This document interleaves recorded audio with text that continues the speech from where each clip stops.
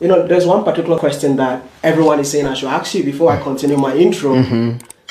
They want me to ask you, what does PLO? Patrick Loch Otieno Lumumba. And are you related to. Um, No, not at all. Lumumba? I'm not related to Patrice Emery Lumumba. I think our only relationship is that uh, we share certain ideals, including the desire to have a united, peaceful, and prosperous Africa.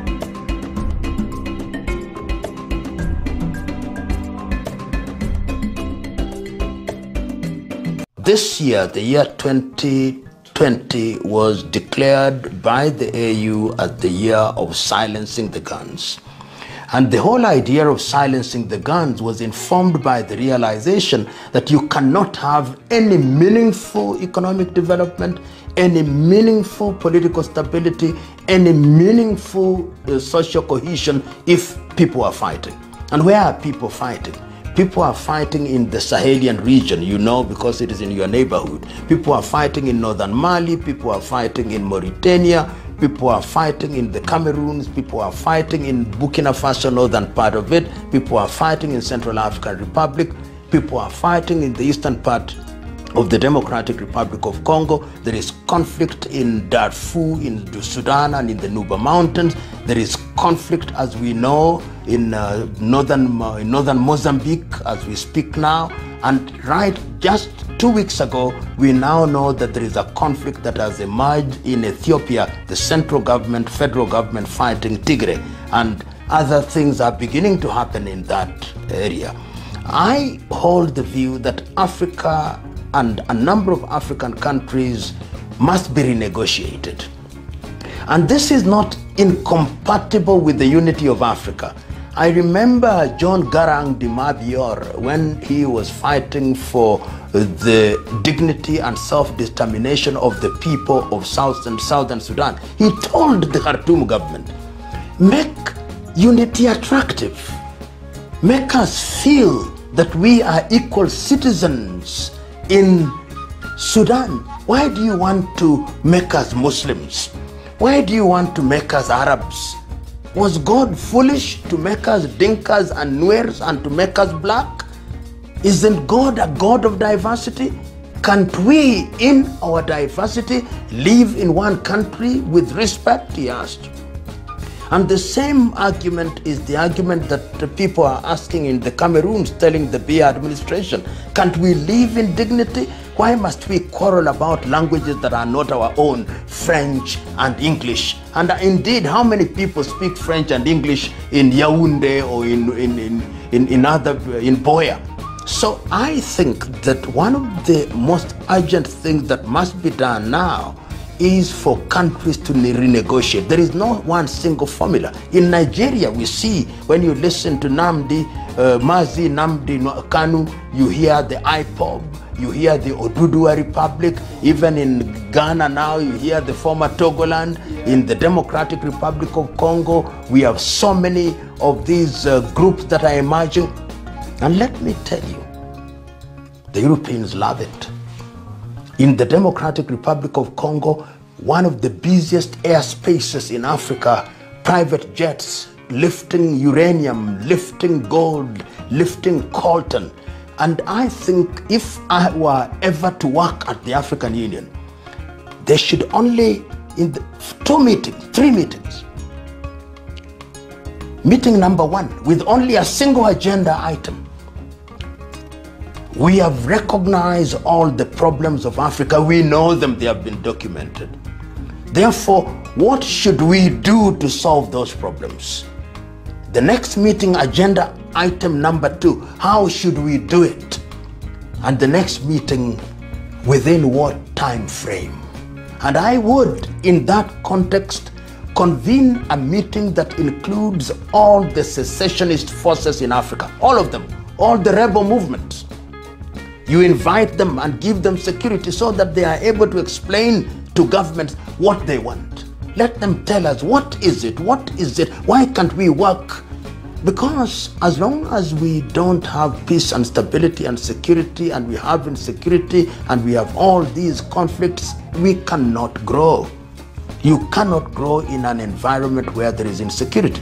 And of course, the other thing that you talked about is that uh, we must rethink our education system. We must rethink our education system. Your own countryman, uh, you know, Ayi Kwei Armah, at one time wrote a book, two books, in fact, which I commend to young people. The beautiful ones are not yet born, and the healers. And in the healers, it, where are the healers? It is you who are going to be there. I have so much faith, perhaps too much faith, perhaps too much expectation for the younger generation. You know, one in every five Africans is a Nigerian by nationality. And I described it as the African heat. And SARS has gone underground, is in comatose, and the government thinks that it has solved the problem. No. That was a statement by young Nigerians that we are dissatisfied, that there are certain things that we want done. I hope that the administration in Nigeria will, in a very programmatic manner, begin to address those issues. And when I say the day Nigeria wakes up, if you have 250 million people, some of the most educated men and women in the world are Nigerians. There are more Nigerian doctors in the United States of America and the United Kingdom than there are in Nigeria. They are Nigerian engineers, they are Nigerian teachers, they are Nigerian business people. I mean, Nigeria is the engine. The Nigerian population is larger than the population of all ECOWAS countries combined. That tells you that if you make Nigeria great, it will be a magnet. And that is why I think Nigeria, deliberate effort must be made to make Nigeria stable. And Nigeria must also be renegotiated so that these tensions, I want the central administration to listen to what Nnamdi Kanu is saying.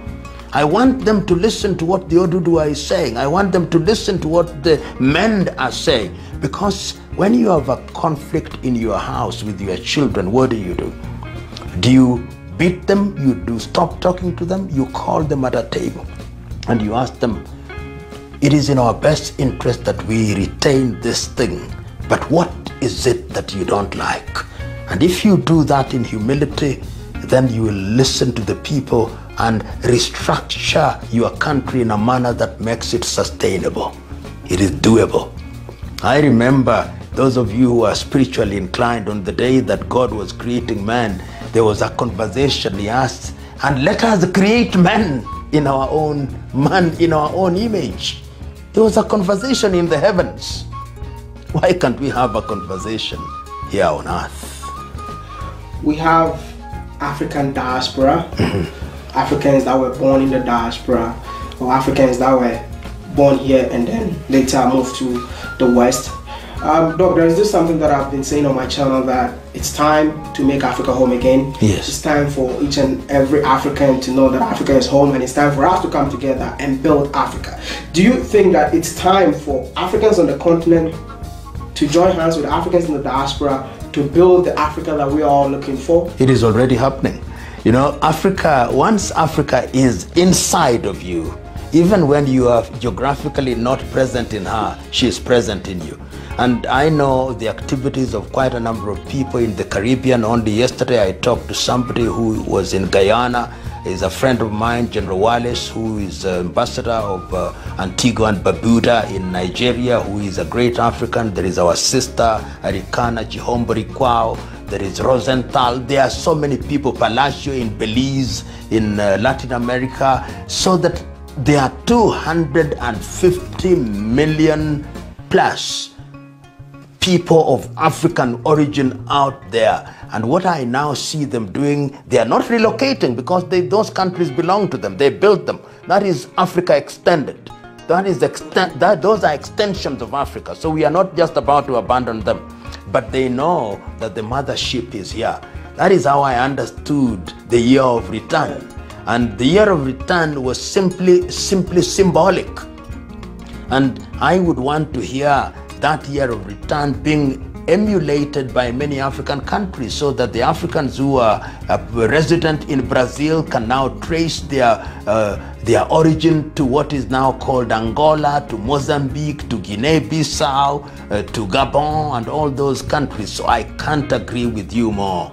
All of us in the diaspora those in our kith and kin in the diaspora must combine to make mothership good again. And, uh, the African diaspora, my kith and kin, wherever you are, you must always recognize that the mothership is the continent and that you have an obligation which is divine to ensure that you work with us and we work with you so that the relationship is symbiotic with only one single aim to make Africa great again for this generation and generations yet to be born.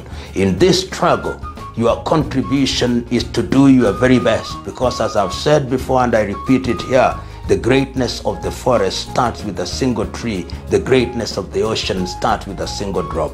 Be a good tree that the forest may thrive. Be a single good drop that the ocean may be great in its splendor. God bless you.